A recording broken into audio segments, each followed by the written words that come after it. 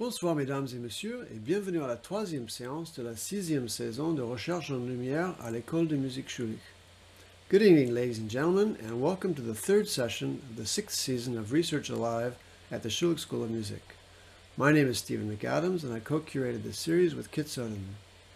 With this series we aim to bring alive the humanistic, scientific and engineering research in music as well as the research that goes on behind the scenes in performance and composition leads up to the final musical product. Our next session is on March 17th with the winner of our yearly Research Alive Student Prize competition, generously funded by Jill de Villafranca and Dr. David Kustik. He will be with contrabassist and musicologist Shanti Nachtergaele, presenting a uh, talk entitled Changing Notes for Notability, reenacting a legendary performance by Domenico Dragonetti and Ludwig van Beethoven. Finally, the two finalist projects from the Student Prize competition will present their work as well. Music theorist Thomas Posen will present in the graduate colloquium of the Music Research Department on March 19th with a talk entitled Hearing Beethoven's Eroica Sketches Through Reconstruction, Analysis, and Performance. Then composers Gabriel Dufour-Laperrière, Philippe McNabb-Séguin, and Dominique Lafortune will present within the McGill Association of Student Composers meeting on their talk entitled Composing Energetic Motion, Applications of the Phenomenology of Dynamic Forms. This evening's presenter is Professor Jon Wild, who is the Music Theory Area Coordinator and a music theorist interested in a wide range of topics, including chromaticism in late tonality and early tonal work, computational approaches to speculative compositional theory, musical tunings, and computer-assisted corpus analysis of music, among many other interests. The title of his talk this evening Tale of a Musical Pattern, Josquin, Brahms, and Brad Mehldau. So join me in welcoming Professor Jon Wild.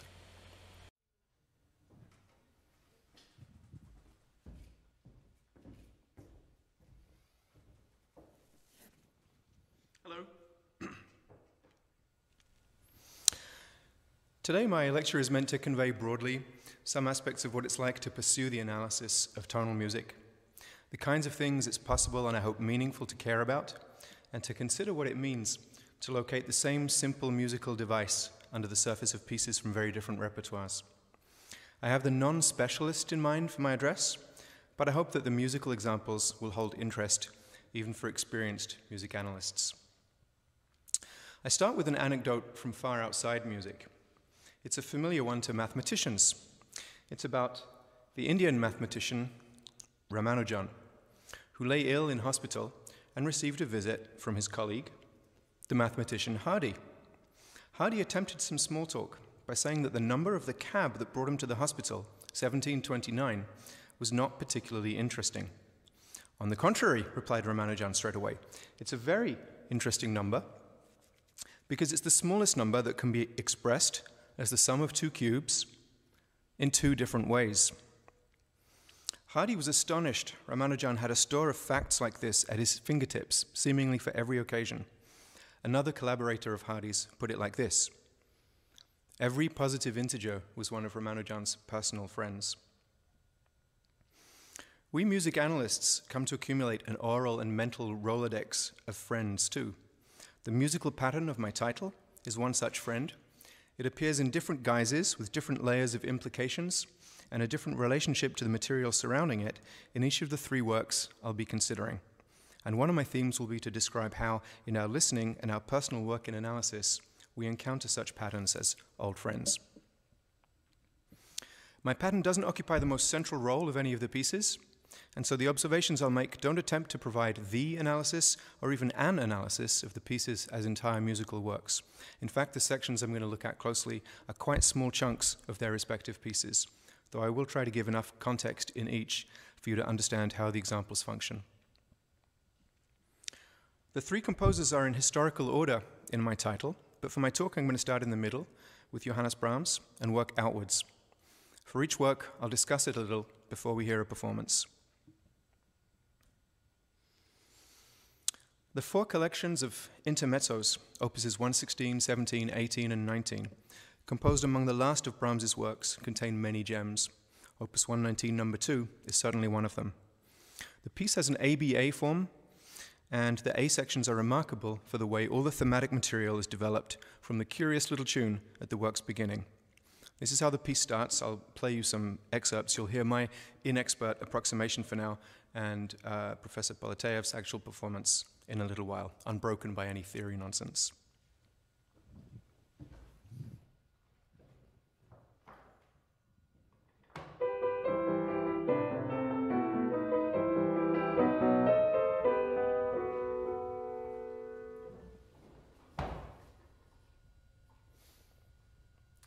So this is an odd little tune. These 11 notes in the first two measures.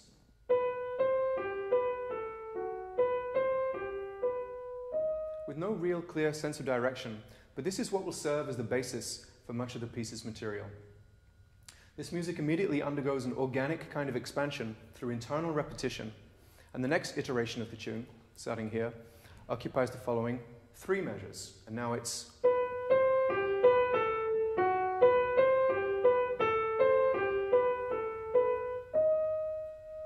This is a great example of what Schoenberg called the principle of developing variation. It's not like a formal variation um, technique where a self-sufficient block of music is repeated several times with the same length and is variously ornamented over an unchanging scaffolding. Instead, it's, in Schoenberg's words, the endless reshaping of a basic shape by thematic regeneration, and we'll see the principle at work throughout the A section. So the music modulates to the subdominant A minor, for this restatement of the tune, a fourth higher, now rendered and accompanied in triplets.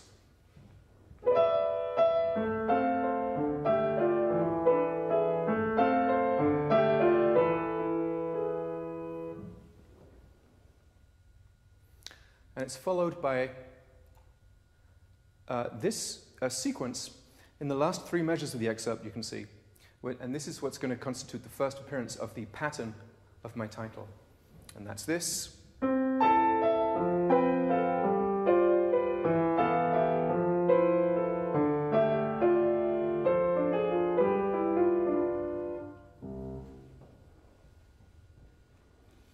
The derivation of this passage in its top line grows out of the opening tune, where there's a little falling three note motive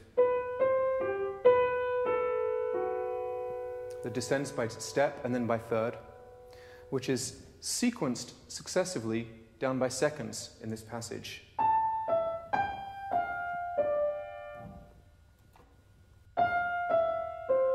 With the last instance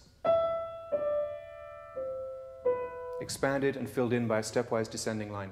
We'll return to the passage in detail, but I'm first going to show you how this process of developing variation continues to unfold um, in, the, in the piece.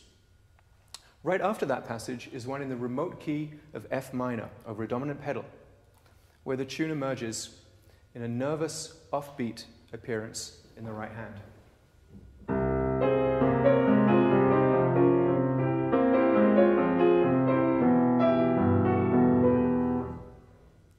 Followed by uh, it being sequenced down a step and appearing in E minor and treated similarly. The final appearance of the tune in the A section returns to the home key, where it's given a lush romantic treatment with an attractive counter melody in an inner voice, proceeding to a sequence that involves the same motive of a falling fourth, broken into a step and a third skip that we heard in the A minor passage, but here it gets sequenced successively upwards.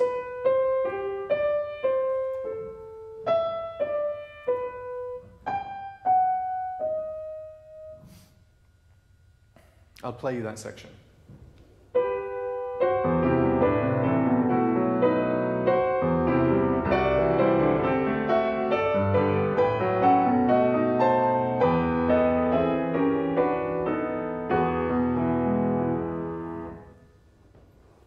The B section of the piece starts with a change of key signature to four sharps, a change of tempo, and a more traditional rhythm for a melody and an accompaniment in 3 4. Rather than the uneven phrase lengths and unpredictable organic construction of the themes of the A section, here we find a tightly organized compound period of 8 plus 8 measures. In short, everything is different for this contrasting section, except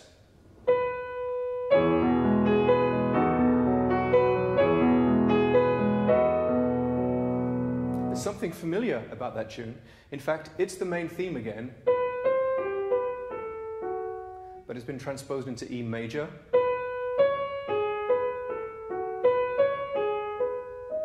And it's been rhythmically altered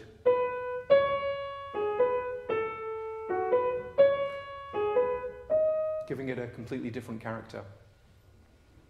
So, having heard the derivation of several of the themes from the opening theme, I'm now going to zoom in on the A minor passage that I flagged as an instance of the pattern I'd like to talk about.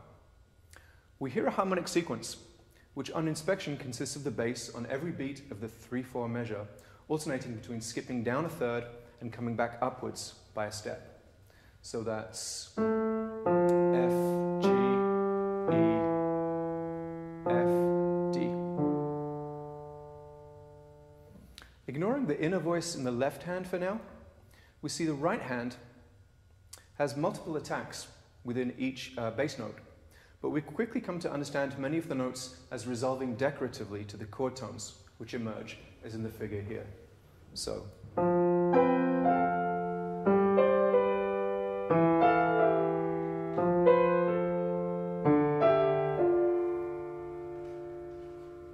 The highest voice forms a regular alternation of fifths and octaves in contrary motion with the bass.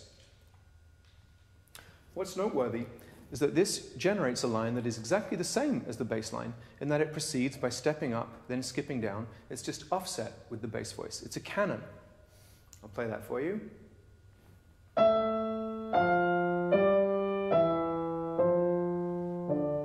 And I've regularized the first chord here so you can more easily see the pattern from the beginning. The inner voice in the right hand reduces to a set of parallel tenths with the bass line, meaning it too is in a canonic relationship with the top line. Uh, the right hand now forms a series of contracting and expanding thirds and sixths. So.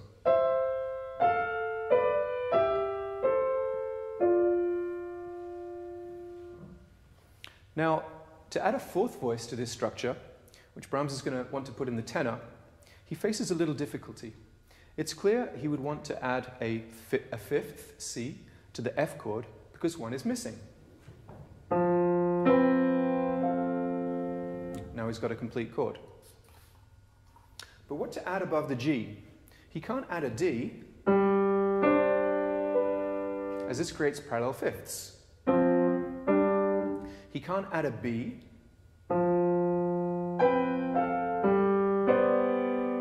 if he still wants to keep that, um, uh, that suspension in the top voice because there's a clash. So Brahms reaches further here and adds a seventh, F.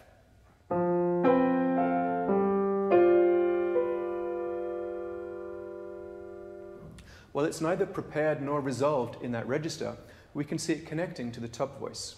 So there's the preparation, and there's the resolution transferred between voices. The tenor line continues in this fashion, alternating by leap between the fifth and seventh of the chords. I'll play that for you again.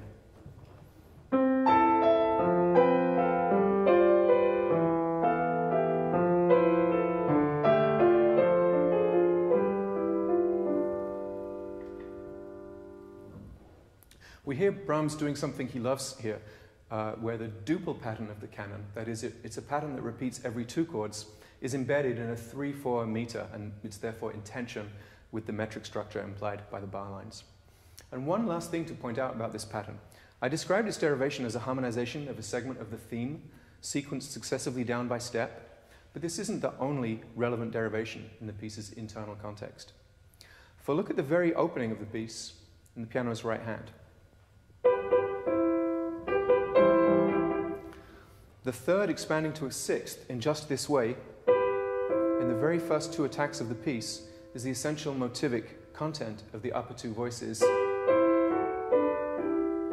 in the A minor sequential passage. So we'll now have the pleasure of hearing a performance of Opus 119, number 2, by Ilya Poletaev.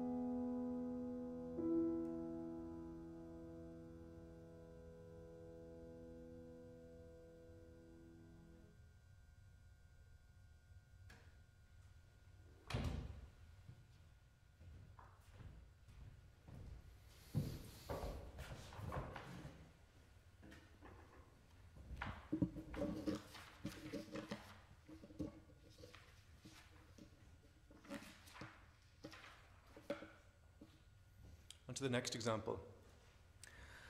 The composer Johannes Ockeghem died in 1497, and his younger contemporary Josquin des wrote the piece Nymphes des Bois as a deploration of Ockeghem's death.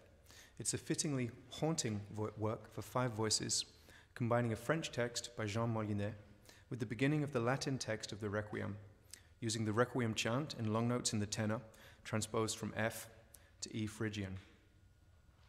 Towards the end, the tenor drops out, and the other four voices sing this passage. The text for the section reads, in Old French Accoutrez-vous d'habits de deuil, Josquin, Pierson, Brumel, compère, et pleurez grosses larmes d'œil, perdu avait votre bon père. Movingly, the text places Josquin himself among the mourning composers, along with Pierson, whom we usually know as Pierre de la Rue, Brumel, and Compère. Dress yourselves in clothes of mourning, Josquin, Pierson, Brumel, Compère, and let your eyes weep great tears, for you have lost your good father. Let us hear the music in the passage shown on the slide.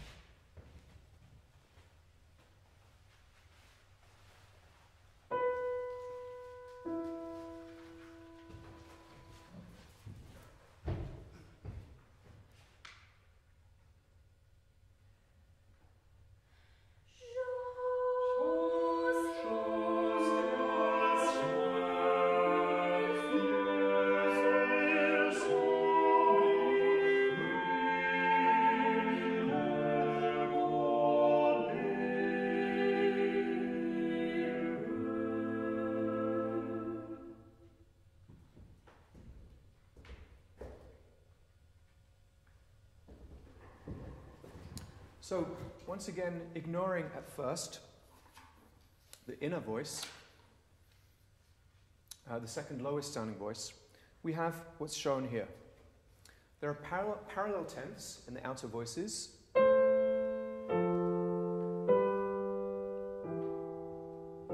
Forming the broken descending line that alternates skips and steps. And an inner voice has the same canonic counterpoint we encountered in the Brahms.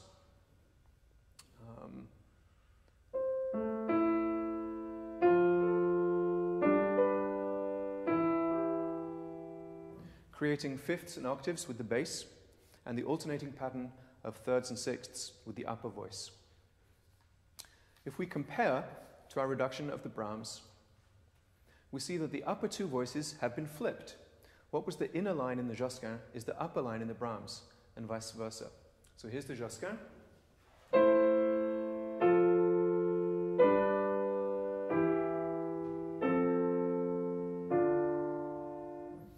Here's the Brahms.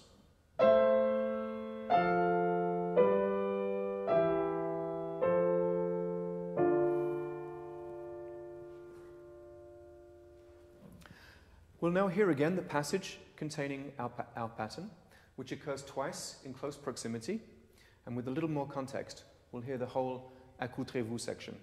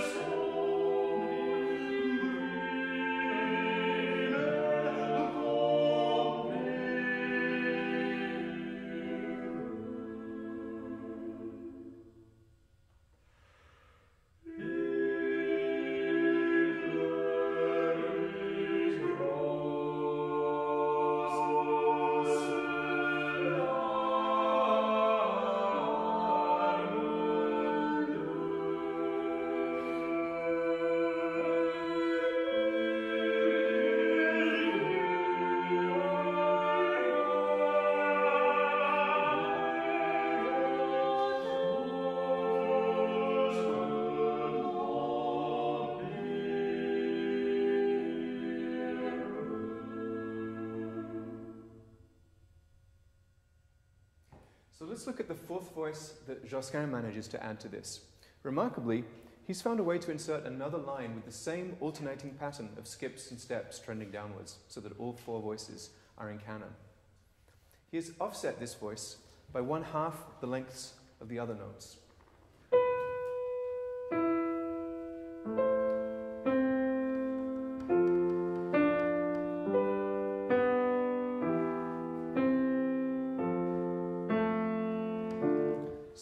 Attacks out of phase with the others, lending it greater independence. If we were to realign this voice with the other three, as in the bottom system shown, we see that it's possible to have the alternately contracting and expanding sixth and thirds in both the upper and lower staff, creating six three chords in every other position.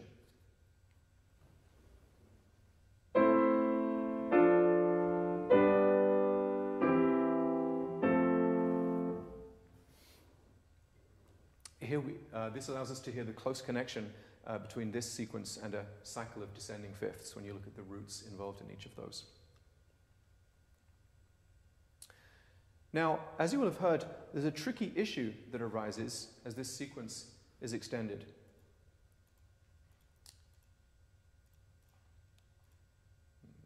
My apologies for that. There we go. You'll have noticed that the, the tenor has to go to a B flat here to avoid the diminished fifth with the soprano F. But in the very next chord, the alto has to have a B natural to form a perfect fifth with the bass note E. We call this clash between voices when in immediate juxtaposition they have different versions of the same note, a cross relation, and it would have been very hard for Josquin to avoid it had he wanted to.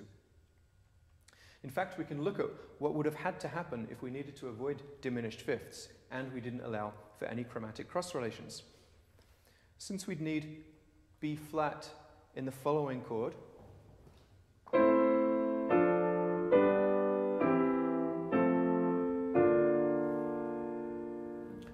we'd have to adjust the bass to an E flat. That E flat would then reappear in the soprano of the next chord and set into motion a chain of increasing flatwards shifts. It sounds like this.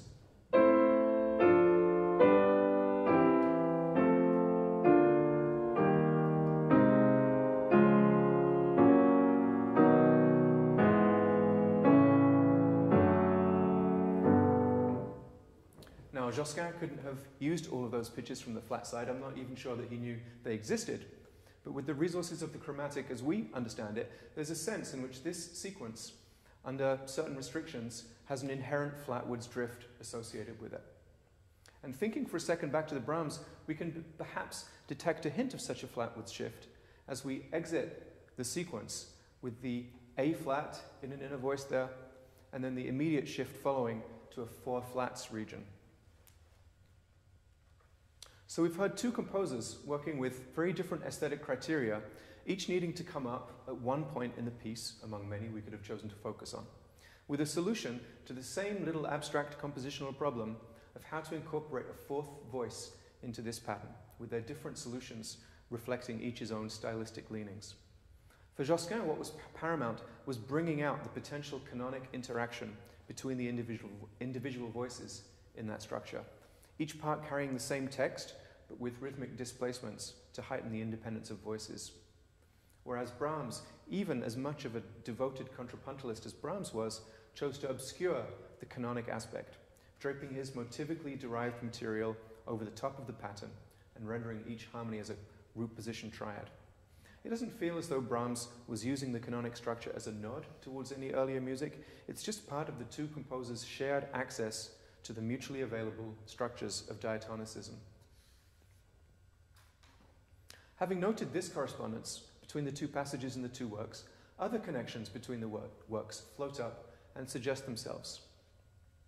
For example, that last section of the Josquin, the Accoutrez-vous, begins with a 6-3 chord over E, a C in the tenor displacing the more stable fifth B that we might expect to hear at the beginning of a section.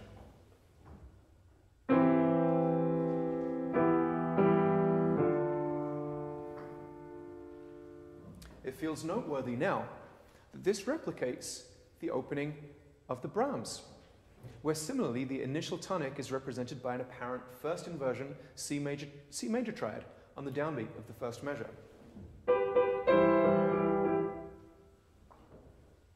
If such, resemblance, if such resemblances happened within the same piece, we would speak of motivic recurrence and development. Within a single comp composer's oeuvre, we would speak of their personal idiom. Within a broader historical period, we would speak of common stylistic attributes. But what to make of such associations among passages from works 400 years distant from one another? Attending to resemblances like these, we open our ears to a sort of dream logic of connections among disparate works. And we'll now finally get to hear a complete performance of Josquin's piece, Nymphes des Bois.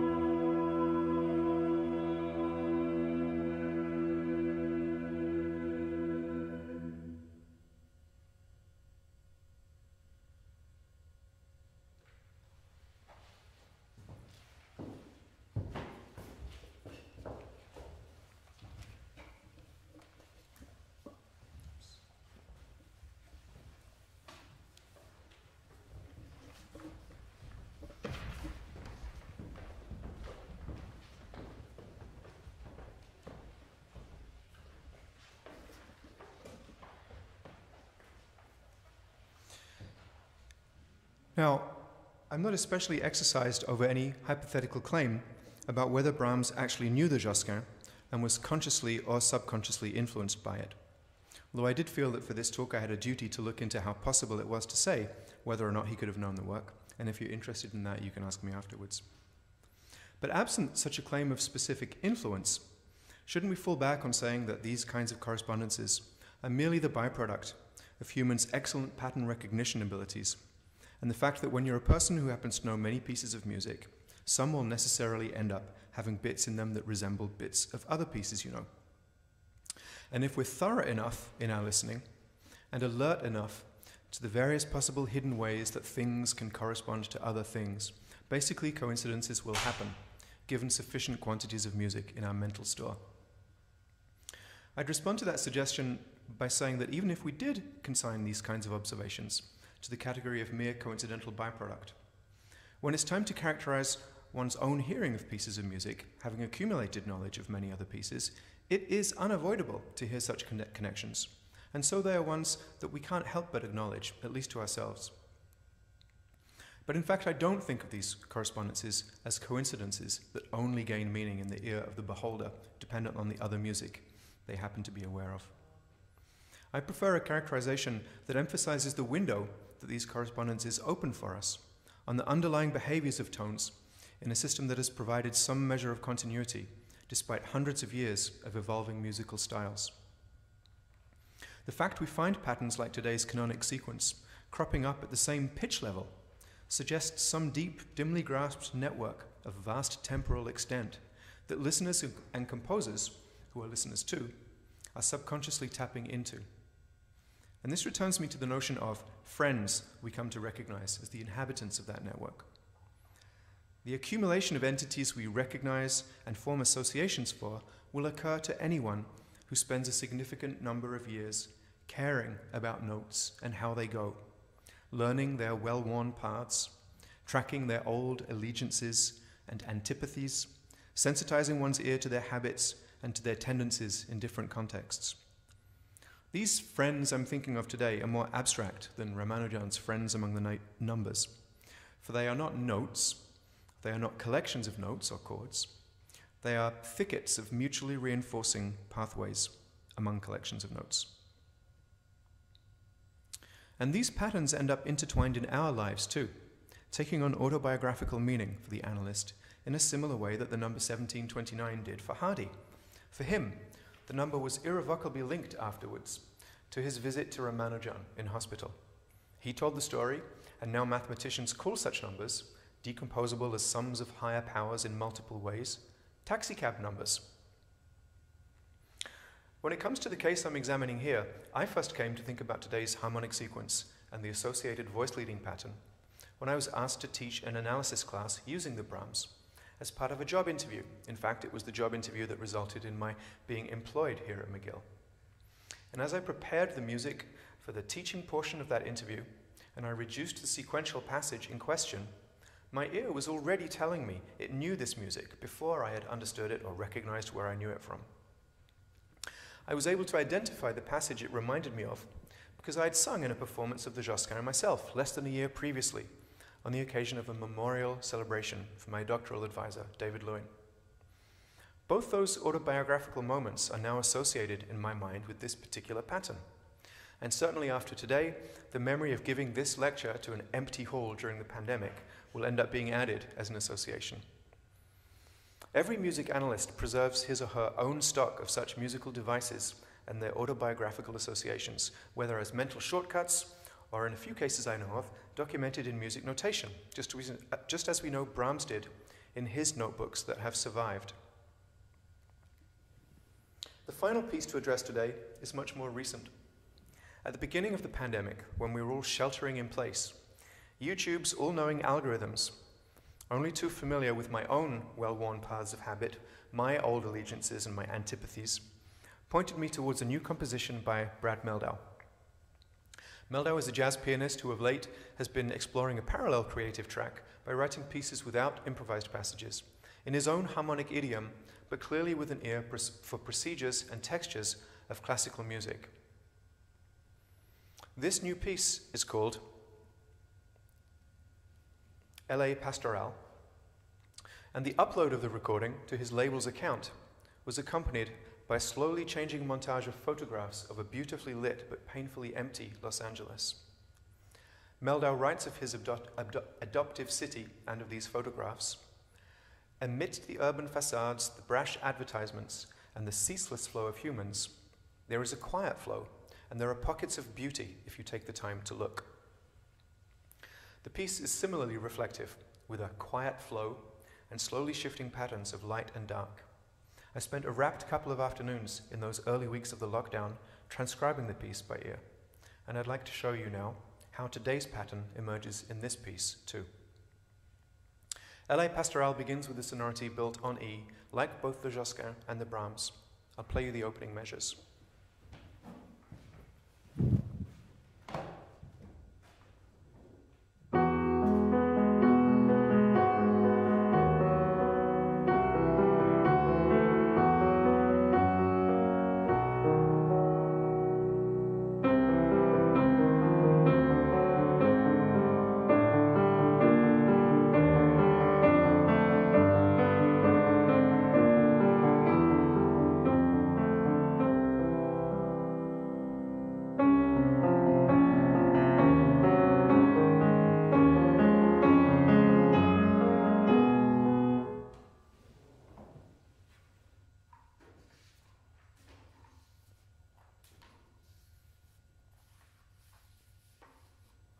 Much of the piece exhibits a similar texture, with a prelude-like figuration, locally consistent, but over the long run it's always shifting incrementally, as you'll hear when I play the whole thing.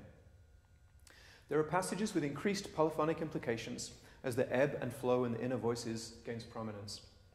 But the interest is foremost harmonic in the unhurried succession of one rich sonority after another, and long stretches of the piece have little melodic action to speak of. Tonal centers drift, following a curious pattern that rises and falls by semitones at the larger scale. Metric organization is elusive, as the piece does not stay in a straightforward 4-4, and deciding where to place the bar lines was in one sense the hardest part of the transcription process. About a third of the way into the piece, we hear this.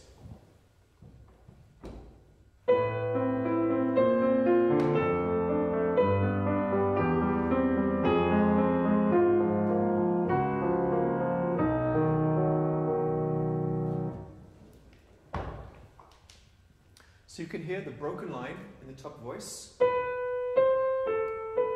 at the same pitch level as in the Josquin and the Brahms, though it gets inflected flatwards in the middle with A replaced by A flat, following which the G and the E in that top line also appear with flats. This sounds like a nod towards the inherent flatwards drift of the underlying scheme that we discussed, but it's been accelerated here.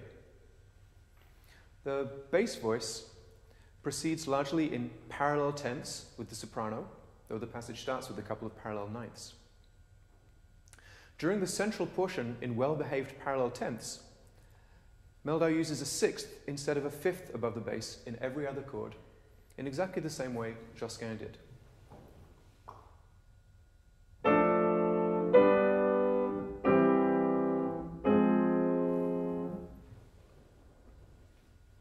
After the surprise A flat in the top line, the harmonic support departs from the familiar scheme, supporting the flatwards drift in the upper voice. Some elements of the model are still retained. For example, the B flat under the F, which Josquin needed to avoid the diminished fifth, is here too, despite forming a non-triadic sonority. On the lower system now, we can see the other contrapuntal line that participated in the canonic scheme.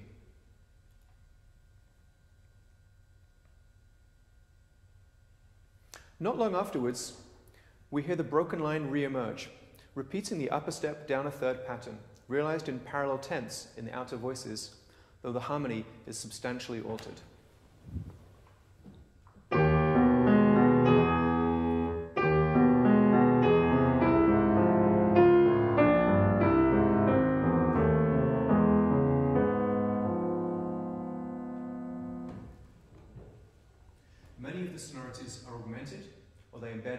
Triads, we can no longer say here whether triads are in root position or in inversion. And there's an unsettled aspect to this transformation of our pattern.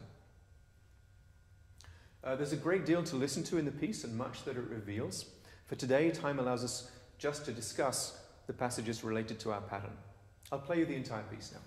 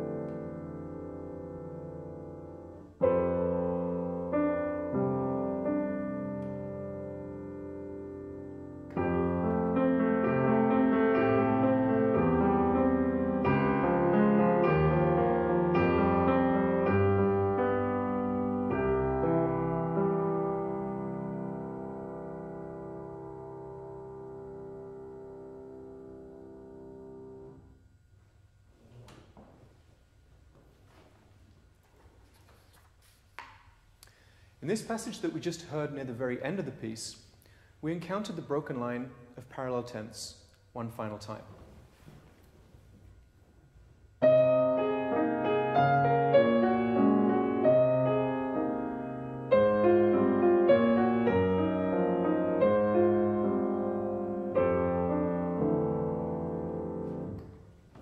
Here, the quiet flow of the piece is broken up with fermatas as we stop and start. Reassembling it and rendering the figuration in this passage as homophony, we have this.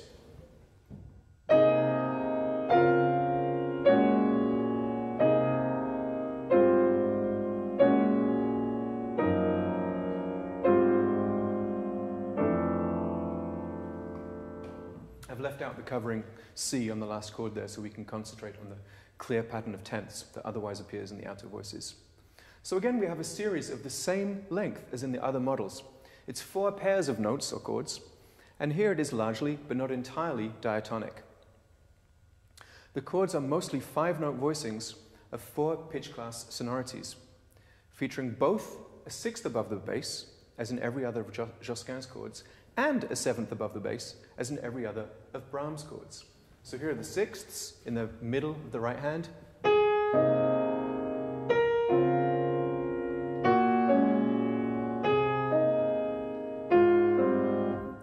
Sevenths in the thumb of the left hand.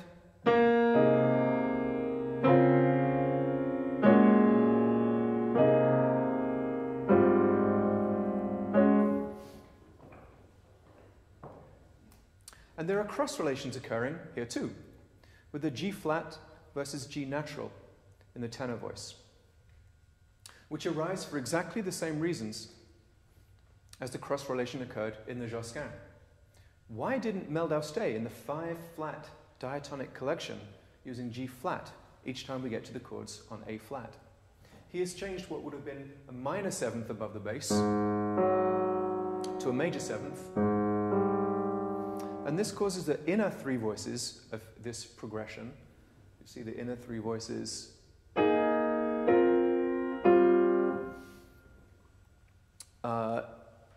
To maintain the quality of a stack of perfect fourths rather than mixed perfect and augmented fourths. It's not that Mehldau needs to avoid the tritone per se, it's that this particular context for a tritone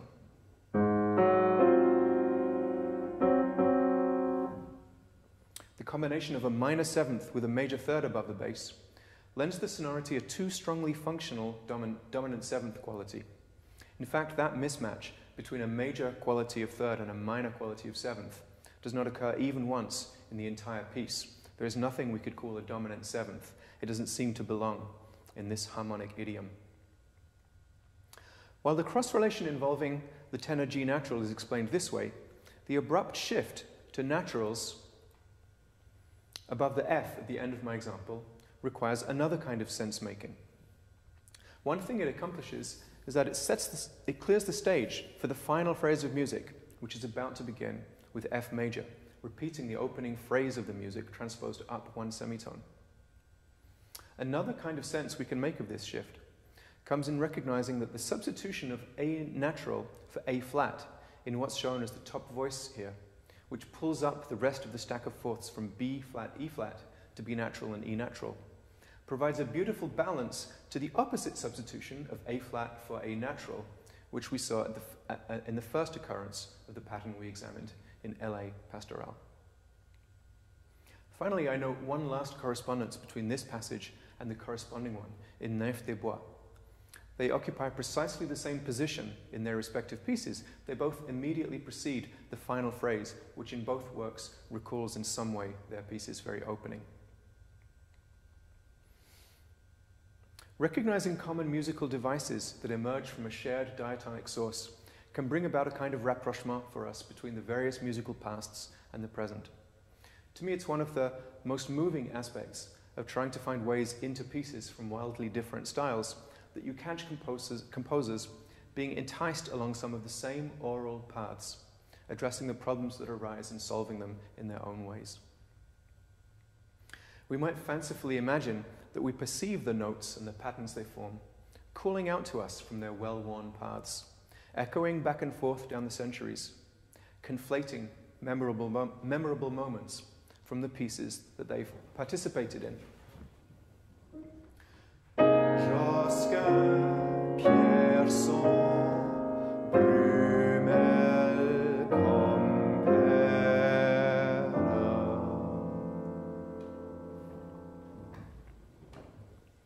most ways, the year 1497 seems impossibly remote from us.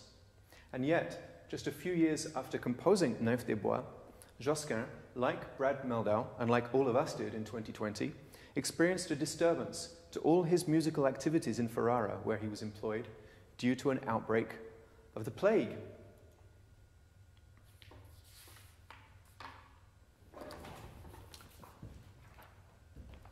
So, to conclude, I've tried to describe one aspect of what it's like to maintain alertness to the inner life of musical tones, to learn from their ways, to time travel and even play alongside them.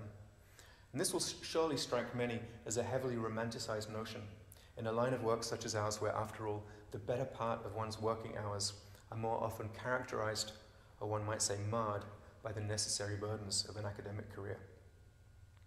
Yet, on the best days, pursuing music analysis can feel enjoyably like living alongside the tones and the patterns they form. And so, to anyone listening now who partakes, I wish you many such days. Here's to our friends. May they live long and prosper. Thanks for listening. And I believe there's a mechanism for questions to be conveyed if anyone would like.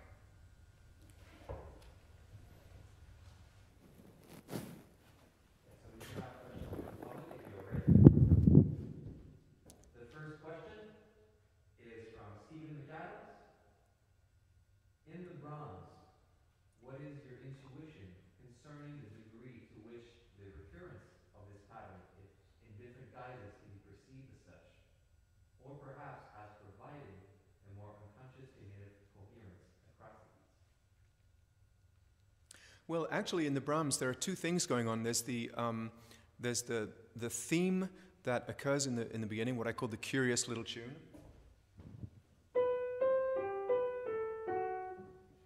And this occurs, this.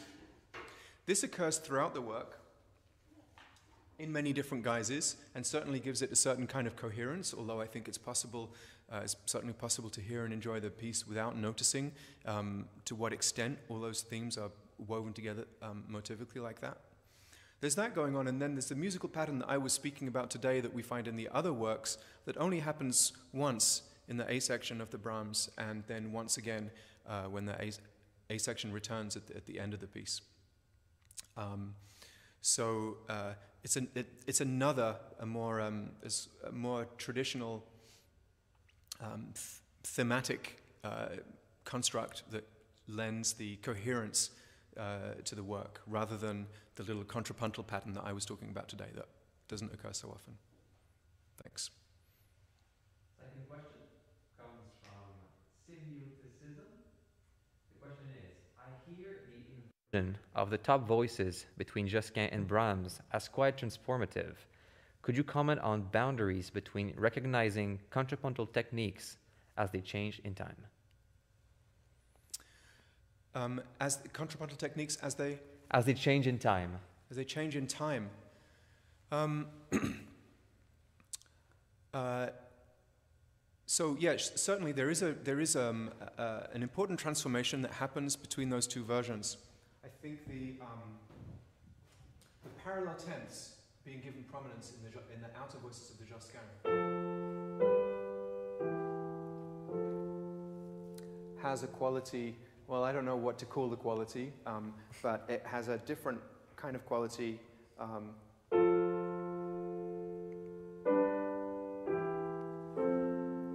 than if we put the, so there's imperfect consonances in the outer voices. There's a, a softness to it, a gentleness to it, that if we flip those voices as in the Brahms, and we find now perfect intervals.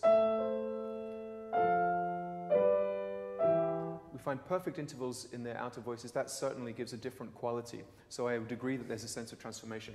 I'm not sure that it's related to, um, to the different contrapuntal possibilities of the, the different historical styles, because I can very easily imagine uh, Josquin um, uh, um, employing both of those patterns um, within the same piece, you know, invertible counterpoint. And uh, we certainly find that in Josquin and in many other Renaissance composers where they will explore um, all, all legal permutations of those voices. I'm not sure if that answers the question, but that's what I've got for you. Amazing. Uh, we have a question from Lara Balici. The question in two parts. I will start with the first part. Uh, thank you for the lovely, the, the lovely talk, uh, the person says. The question is I am wondering if you could elaborate more on how your idea of musical patterns as musical friends with autobiographical significance might relate to the dream, in between quotes, logic you mentioned earlier in your talk. Yeah, I, I, would love to think about this some more. It feels a little bit loopy, actually, and it's something I just thought of dream logic this morning when I was thinking about what, like, what are these kinds of connections.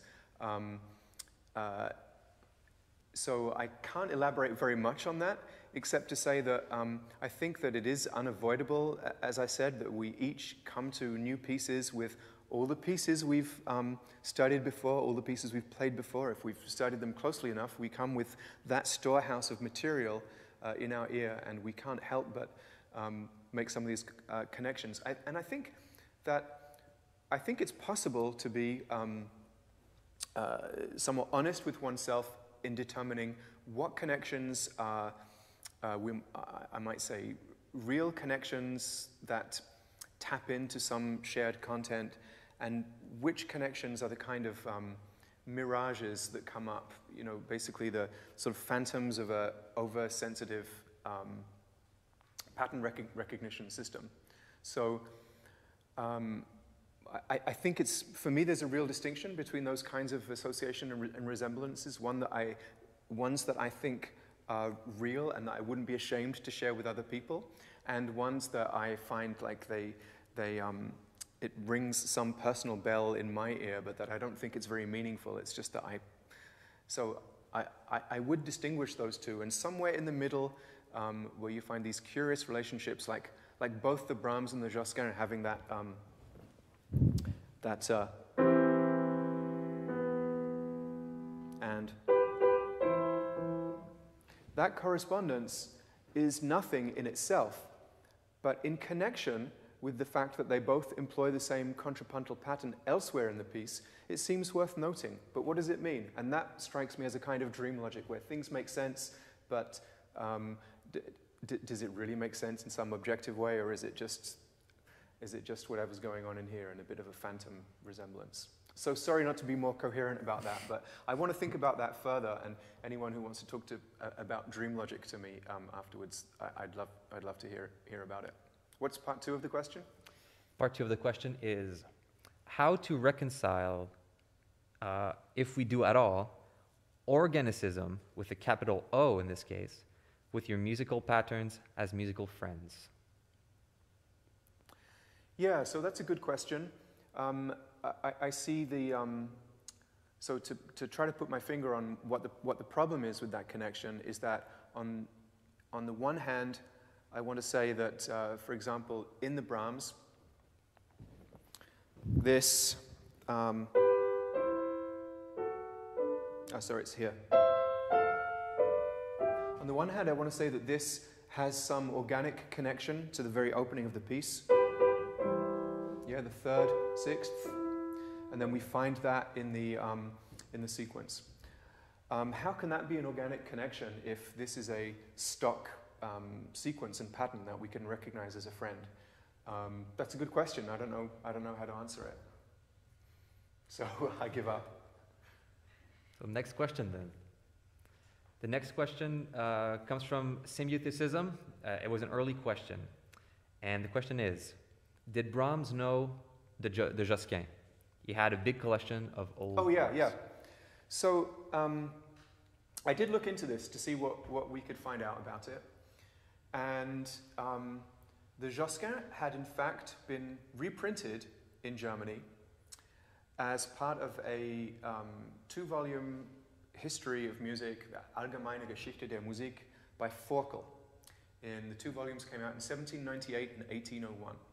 And the second volume covered the period of Josquin, and it included, as a reprint, it included um, this piece, the Josquin piece.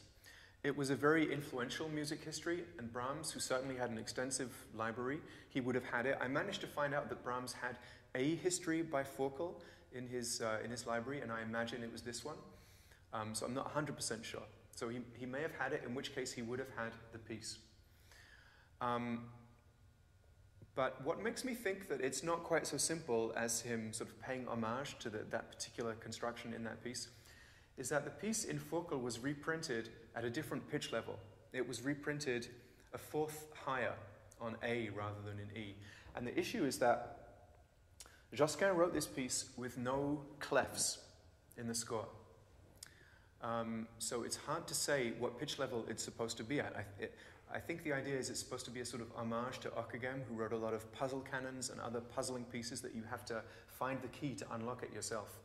What we do have on the, um, on the, uh, in the parts, I don't know if I just said score. I shouldn't have said score. There isn't a score. It's preserved as parts.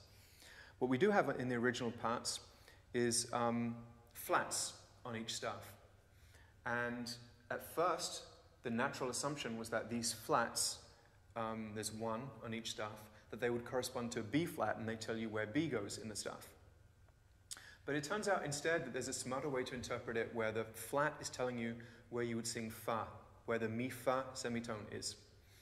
And so, um, uh, in fact, now there seems to be a good argument for the piece belonging uh, fourth lower, so it ends in E. And I completely agree. I love this range, this low range for it that we heard today, and the beautiful uh, performance um, with the uh, all the all, all, the voices in their low range. Um, it seems particularly fitting for a um, for a uh, uh, sort of dirge, a, a declaration on, on someone's death. So Brahms might have had the piece in his library, but if he did, he had it in a different key. So the fact the music comes back at a different pitch level makes me think that's perhaps not so important. Uh, we also know some of the pieces that Brahms conducted younger in life, and he was interested in early music. He conducted some Palestrina and some Lassus. I wasn't able to find that he had ever actually conducted some Josquin. So that's, I think, the, the, the state of the knowledge it's possible to have about that question. There's surely someone out there in the world who's, uh, who knows more about that and who could uh, fill me in if ever they, uh, if, ever, if ever they come to watch this lecture. Next question comes from Rachel Hottle. The question is Could you talk a bit more about the role of musical friends, in between quotes, in your analytic practice? Does this sort of work represent a departure for you, or are you typically motivated by personal resonances? Um, I would say that one is, one is often uh, motivated to work more on pieces where you find these uh, resonances, perhaps, but I have never thought about it explicitly before. Um, when I first thought of doing a lecture on this topic, I thought, okay, I could show some correspondences between these pieces. And then I thought a little more about what that meant for me and the fact that, that there are these autobiographical connections and that that actually is significant and it's significant in a way that, that, that makes me want to share that aspect of how I think about it, which I haven't done before. And it feels, it feels a, um, sort of a, a, loopy or flaky kind of topic, very personal in any way, in, in a way that I, I haven't, that I haven't explored before in any of my analytic work. So, uh, uh, so that's new for me. And I figured if you're going to do a flaky talk, you might as well do it in the pandemic. When when's a better time to uh, uh, to do that? Another question comes from Thomas Anderson. The question is, could you explain how the motif progresses again, and maybe how it manages to sound very stoic yet expressive? How it managed to sound stoic yet expressive? Exactly. Um, uh, no, I don't know if anyone can explain that. Uh, eh, I, I, agree. Like these, um, these, these friends, as I've been calling them, the, like different arrangements of, of notes like this, they do possess qualities. I completely agree with the, with the questioner that it possesses these qualities. Sometimes they're difficult for us to put a name to, and sometimes, um, uh, sometimes we can do quite well. I think stoic but stoic but expressive. That seems to work quite well for me.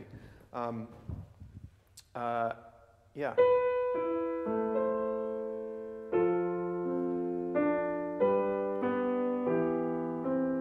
I don't know how it manages to express that. I think it does, it's at this particular pitch level. Here's another thing I'm going to say that's a little bit crazy, is that at this particular pitch level, it has such resonance. It's, this is all in white notes, right? And I think we all have, I don't have perfect pitch, but I have very good pitch memory. And we all have good pitch memory to a greater or lesser extent.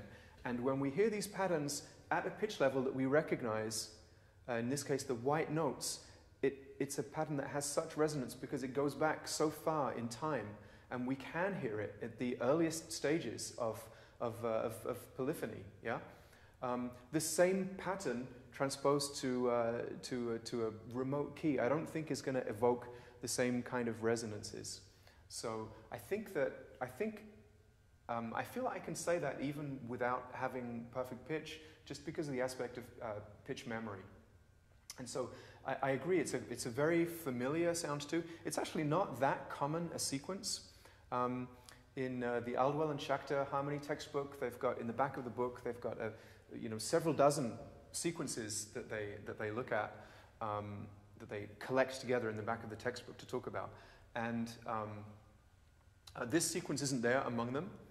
Uh, it's, it's neat in that you can change it in one of a few ways and it becomes um, a, a, sequence that is better. So it, I, I, mentioned at some point it's close to the cycle of fifths, right? In that we've got. Um, so if I put that in root position on D and then